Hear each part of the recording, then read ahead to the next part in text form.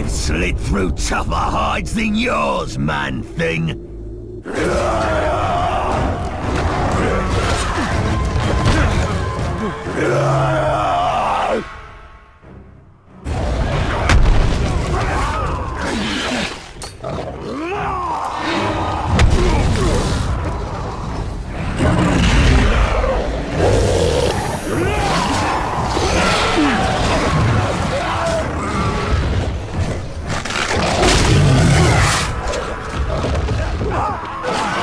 Blood!